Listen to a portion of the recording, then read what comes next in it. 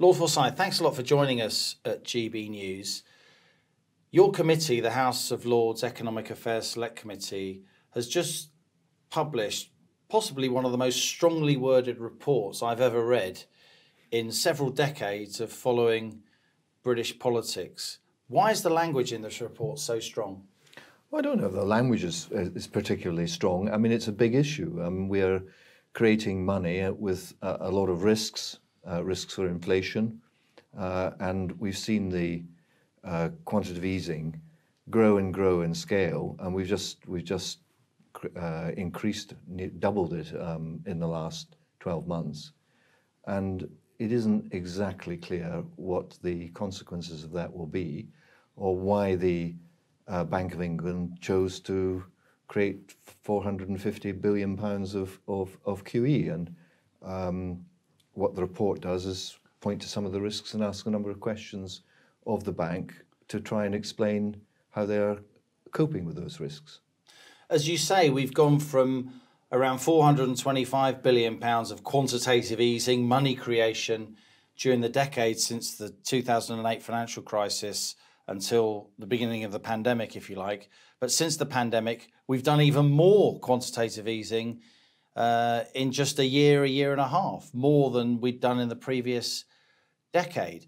What's your main fear about that quantitative easing, you and the committee?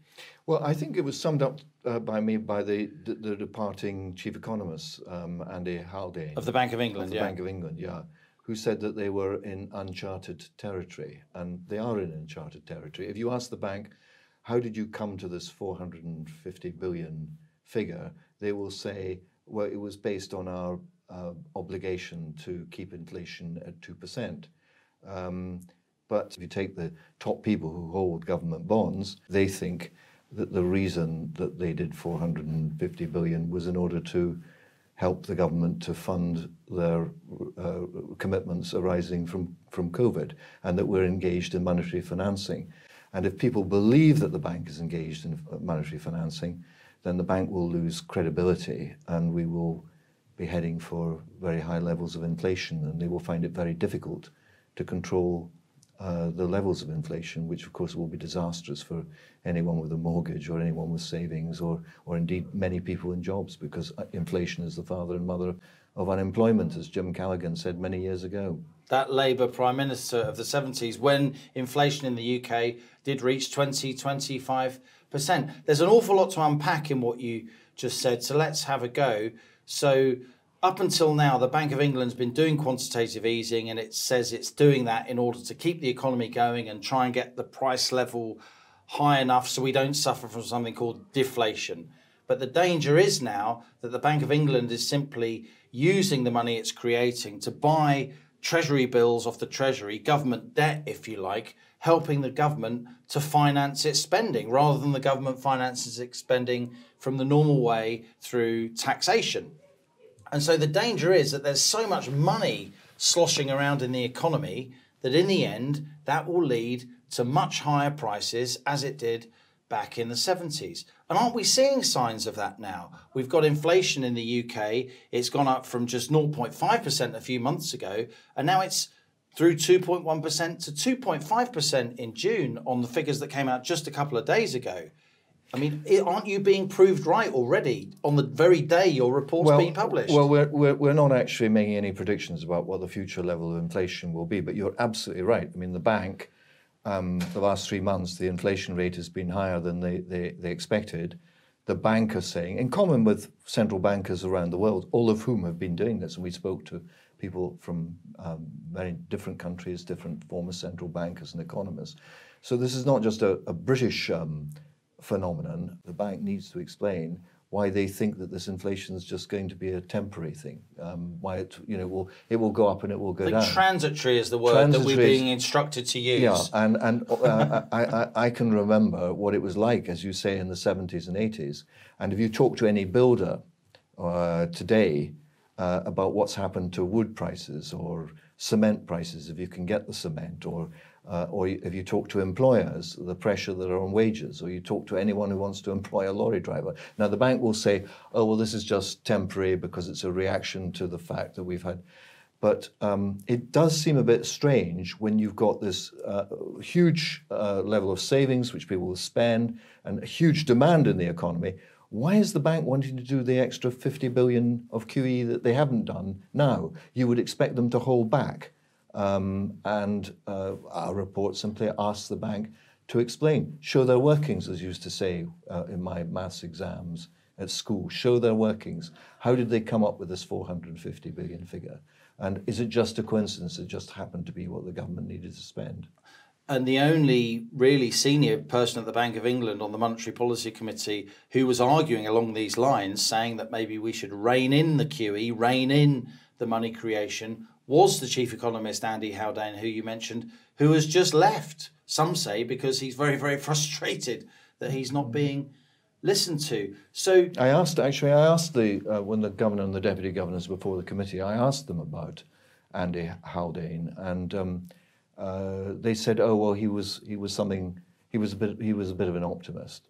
But actually, um, his he's been proved right on his view of V-shaped recovery, and um, I just I just think you know he may be wrong, but the bank ought to have a clear plan of what they're going to do if their views about transitory inflation turn out to be wrong. And it's very worrying. I mean, the uh, we're seeing the same thing uh, from from the Fed, where they're saying the Federal oh, Reserve, the U.S. Yeah, central yeah. bank. If they if they um, if inflation gets out of control, they'll act. Well, if it's got out of control, it's too late. That's right. You need to you need to be ahead of the curve here. Otherwise, you end up. People start anticipating the rate of inflation. They start putting up their prices. They start making demands on wages. And of course, the only tool that the bank would have would be to put up interest rates. And that, because of the huge level of quantitative easing, uh, results in a very large bill for the Treasury and more headache for the Chancellor, who's already struggling to, to make ends meet. That really is a point at the heart of your committee's report, isn't it? And a point that Andy Haldane has been making.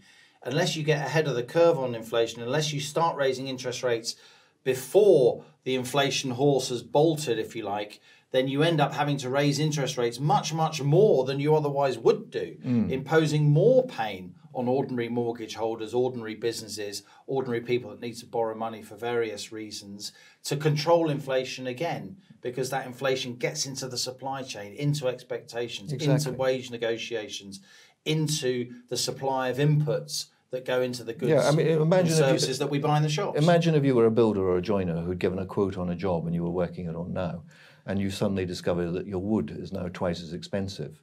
Um, you are not going to be listening to the governor of the Bank of England saying, no. "Don't worry, it's temporary." You're not going to get caught again. So you put up your prices by right. more, and that is how it works.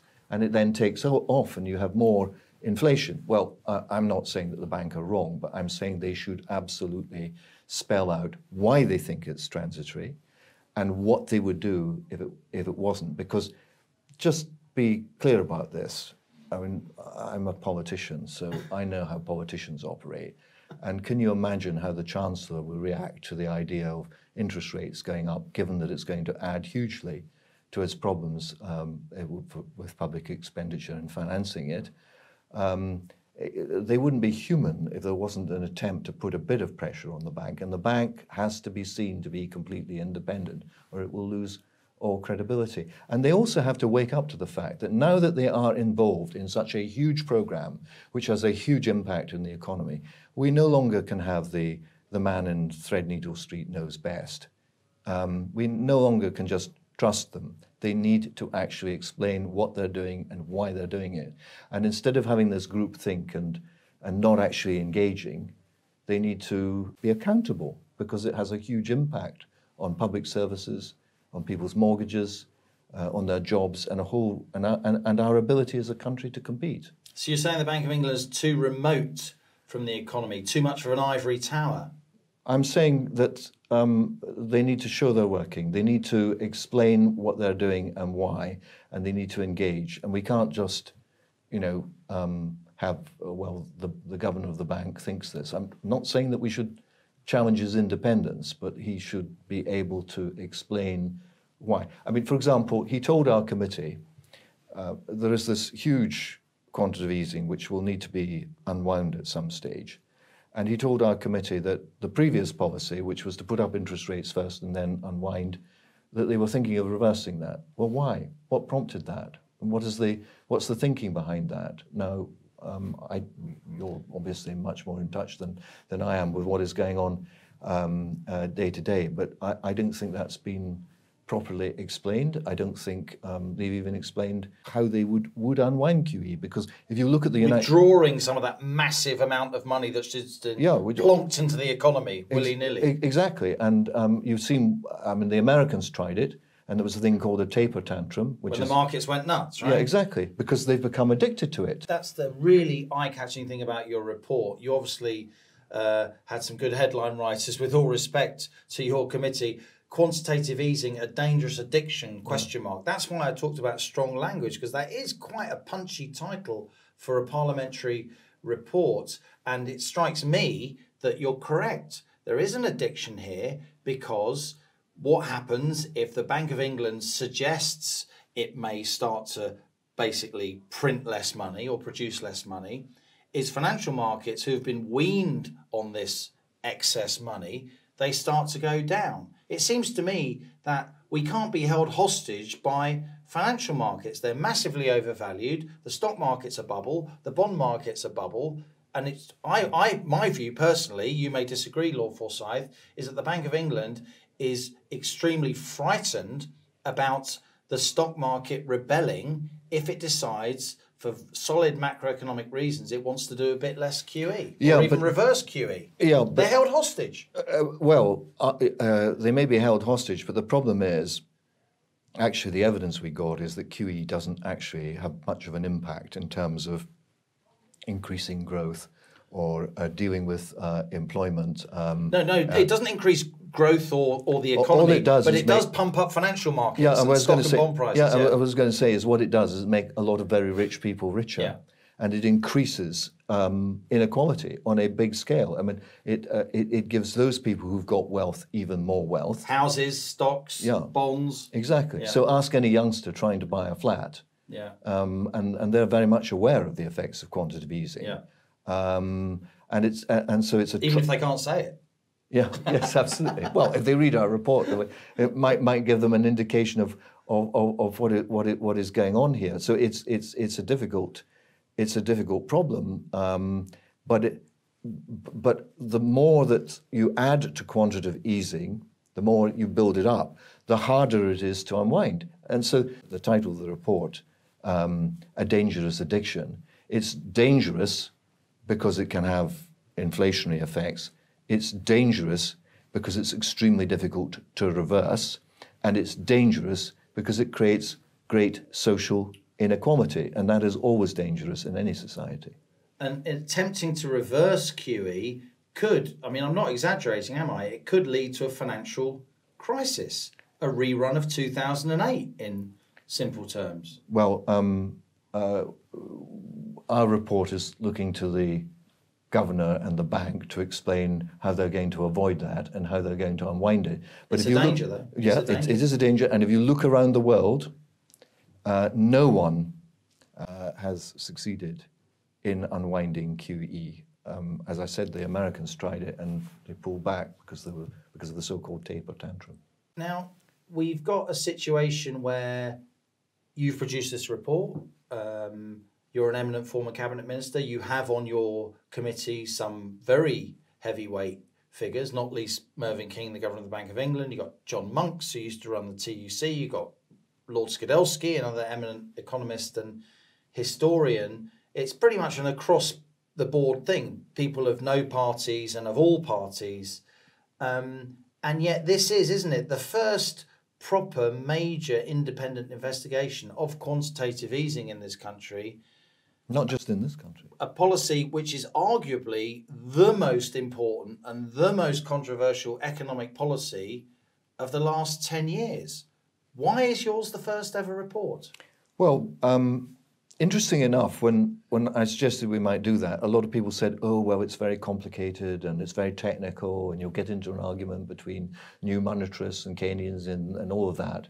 Actually, it's not very complicated at all. It's common sense, to It's mind. indeed. If you create loads more money, there's going to be lots of inflation. Yeah, and history tells us that lots of people have tried it, and it always ends the same way, and um, uh, they always persuade themselves that this time it's different. Um, so there are huge there are huge dangers here. Um, that is not to say that quantitative easing after the financial crisis in 2008 uh, was not a sensible uh, policy to introduce liquidity. But, we, but the reasons for quantitative easing and the scale of quantitative easing have changed as we go along the, the, the, the, the road. And that, that, that's what's concerning. And one has the impression that for the Bank of England now, um, it's like watching somebody trying to play golf with only one club. I mean, every problem, every economic problem, the answer is QE. And Which is a very extreme emergency measure, right? Correct, yeah. But the emergency measures become a lifestyle choice. Yeah. I mean, that is the essence of an addiction. And so um, we tried to produce a report, and as you say, I got some real big brains on the committee. Uh, it's a unanimous report. There's no disagreement about it.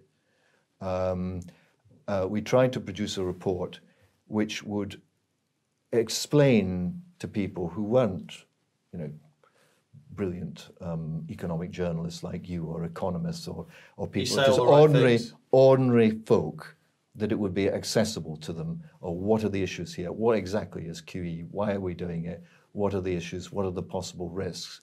And, and really press the Bank of England to start answering the questions about why they did things and what the risks were.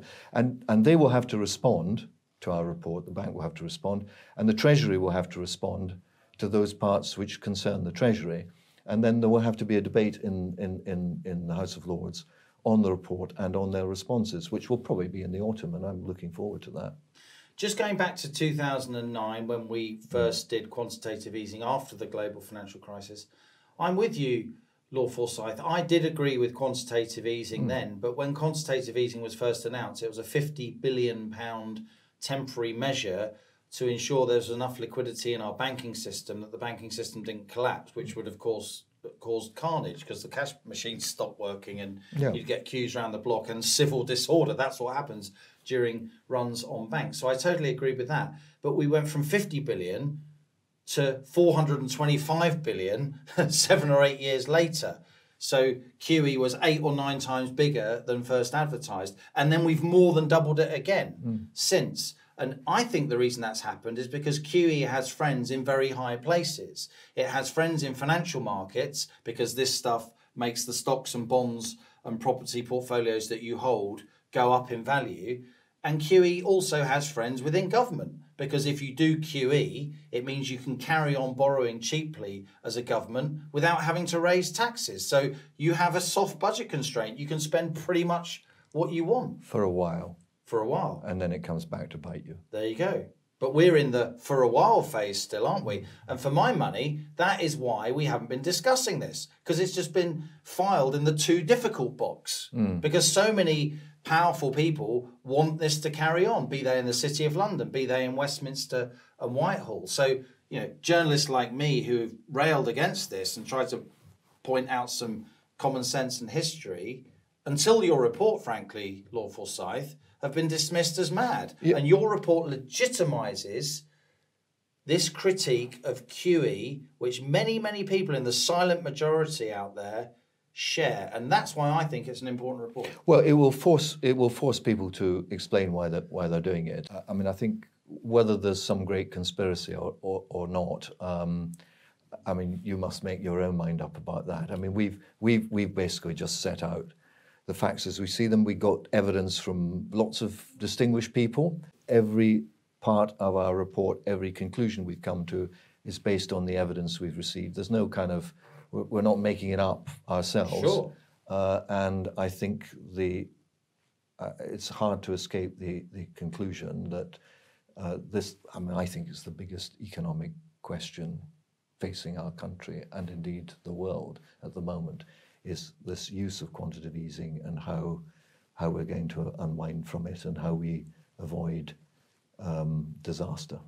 I wouldn't use the word conspiracy. I'd just use basic political analysis with all respect, Lord Forsyth. If you've got lots of politicians who see there's a policy that allows them to spend without having to raise taxes, they're going to go for it. It, Well- used, to be well- called, it used to be called the Private Finance Initiative. Now it's quantitative easing. Yeah, well, I, I, I, I mean, I accept that. And one of the things that really worries me, no names, but I, I encounter colleagues who are in high office who think that they can continue spending because money is so cheap. That's right. And so what the report tells them is you can't. Because the bond market's basically rigged, right? Because the the Bank of England is now such an important player in the market for government bonds that they dominate the price of bonds. They dominate the price at which government can borrow money. But that can't go on forever. It's unsustainable. So the Bank of England, um, in buying uh, bonds um, on which um, there is a coupon, because the bank rate is below the coupon rate,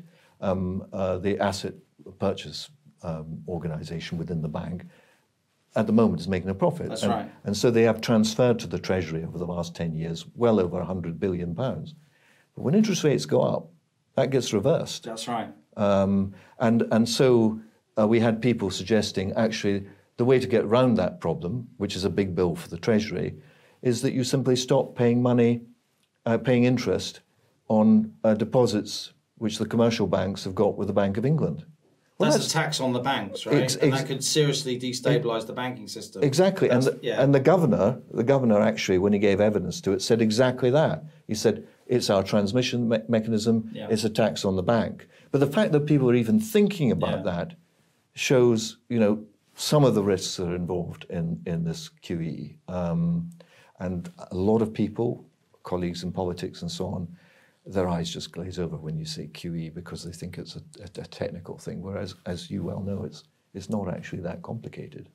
Now, when I gave evidence to your committee, because I Well, I mentioned extinguished people had given us evidence. Because I did. I made the point that pre-COVID QE is very different different from post-COVID QE, Correct. and I wondered what your committee made of that. The reason I made that argument is because pre-COVID QE basically stayed within inside the financial system. It stayed within the banking system. It was often redeposited at the central bank, the Bank of England, uh, as reserves, so banks could bolster their balance sheets. It sounds very complicated, but it isn't. It basically went into financial markets.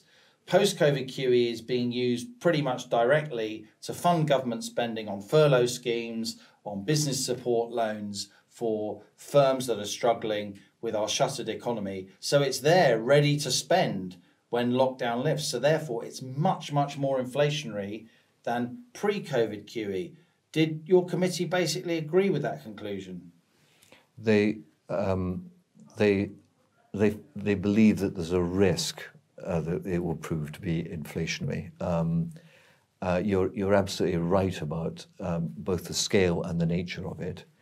And I have to say, if I were the governor of the Bank of England, I'm not sure I'd be doing that extra 50 billion of QE, which they, they still have in their in their locker as part of that 450 looking at where prices were going, looking at um, what is happening in the economy at the moment. There, there's huge demand in the economy at the moment. Why would you Why would you want to increase that demand if if, if you can see inflation coming down the track? Because we said the fundamentally important thing is to maintain the reputation which is strong of the Bank of England Absolutely. and its and its ability valuable. and its ability to be independent. We didn't really feel able to uh, criticize the bank for their judgments, but we do feel able to make the bank explain why they have reached these conclusions.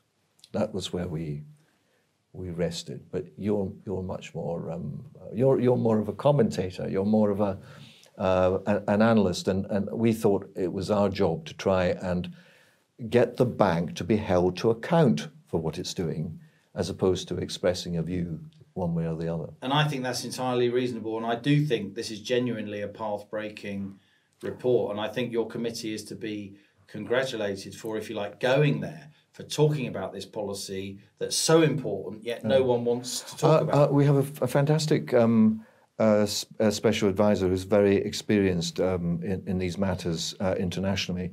And she rather surprised the committee by saying, You do re- realise this is the first parliamentary report anywhere on QE. Um, it's certainly obviously the first. And, and the great thing about the House of Lords, if I can just do a brief commercial for the House of Lords, is every single person on that committee. They're not they're not wanting to. They're not looking over their shoulder for promotion. They're not want. We're not elected, and and therefore we can say what we think. And all of them have got uh, you know experience in their various Proper fields. expertise, yeah. And our committees always operate on the basis of the evidence that we've received, and the evidence was overwhelming. And uh, it was quite quite noti- noticeable how there's a certain amount of groupthink in this area. So you get a string of people who would you know, put the same point of view. Um, and then you'd have other people like you who would challenge uh, that point of view. Um, but you have to be, as we saw in the run up to the financial crisis, you have to be quite brave, really, to take on the, on the consensus, as Andy Haldane has discovered. Final question, Lord Forsyth. Um, it strikes me that we are at a turning point in economic policy making as we look at QE because increasingly you've got people in power, people in office, people of high reputation who are basically succumbing to the idea that this can go on forever. In America, you've got eminent economists surrounding Joe Biden, basically telling the US president that he can practice something called modern monetary theory, MMT, same initials as the magic money tree, uh, rather laughably. The idea that it is different this time, that we can just create money, that budget constraints are imposed by people who are heartless and don't want to help the poor. And this modern monetary theory idea, sort of QE on steroids, is now coming over to the UK. I go to seminars in Westminster and hear highly educated people with degrees from top universities telling me that we can carry on creating money forever, almost without limit. Isn't this dangerous for our politics, given that it can only end in tears? Well, um, you know, there are people who believe that you can get perpetual motion, and there are other people who are realistic. I mean, I was quite struck. Tim Congdon. Don't forget the tooth fairy. Yeah, the tooth fairy, that's true. Uh, but um, I think even the tooth fairy would struggle with the kind of quantities of money that we're talking about here. Uh, um, Tim Congdon uh, gave evidence to our Very committee. eminent monetary economist, yeah, uh, former Treasury wise man. yeah. Uh, he gave evidence to our committee, I think probably back in November. He made exactly your point. He said that inflation would be over 5% by this time next year. And one or two other people said, oh, well, you know, um, this monetary theory is, is not, not, I mean, it's not going to be 5%. Well, where is it? It's over 5% now. Certainly is in America, yeah. in America. Five point four percent. The number and, just and, came and, out. and Tim says, you know, that it could be heading for double digit inflation. And uh, throughout history, we've had people, Elizabeth I thought she could shave the, the edges off the currency and melt the, the silver down again to create new money. And what happened? Prices went up. Countless dictators in tin pot Latin American Yeah, yeah. countries. Or, or uh, the, the Emperor Diocletian imposed the death penalty uh, to try and control inflation whilst um, abusing the monetary system, and it didn't work. Do you think the policy making establishment will listen, will read your report and act? It really is a very powerful document written by people that are difficult to ignore. Well, um, whether they'll listen or not, um, the bank's going to have to reply uh, and uh, to our report, and it will be debated in the House of Lords, and um, uh, you know they're going to have to to justify their position, which I'm I'm, I'm sure they they will they will do. Uh, I mean, one of the things that um, uh, happened while we were engaged in our uh, uh, taking evidence uh, was that the Chancellor suddenly extended the remit of the bank to include getting to um, getting the green agenda and getting to um, zero carbon. What's that got to do with central banking? Absolutely nothing. Um, and That's it's, virtue signalling by thread needles. no, but it? it's but it but it but but there are dangers in it because what it does is, I mean, what's the bank meant to do? Use QE to buy green bonds and not green bonds? How is it going to decide whose green bonds to buy? It takes us into the realm of politics and investment uh, decisions. The central bank, when its role is should be purely to look after um, the, the, the, the, monetary position and to maintain stable prices uh, in, in uh, or, or 2%, this 2% mandate. If the government want to do something on encouraging uh, green companies and investing in them, they should do that using fiscal policy directly and not actually have the bank uh, engaged in that. And if you look at the brief, we asked the Chancellor about this. If you look at the brief the bank, it's very vague as to what they're supposed to do. So we, we really do think that the Treasury need to come forward and say exactly what it is that they want the bank to do in this area, rather than this rather vague, woolly thing, which um, you know could get us into some difficulty. Well, when the Treasury responds, when the Bank of England responds to your report published today, then we'll certainly be covering that on GB News. Mike Forsyth, Lord Forsyth, thanks a lot for coming in. Good to see you. Welcome to the GB News YouTube channel. You can watch us live 24 hours a day, catch up on your favourite shows, and join in the conversation in the comments below. Don't forget to subscribe and you'll never miss any of our exclusive content.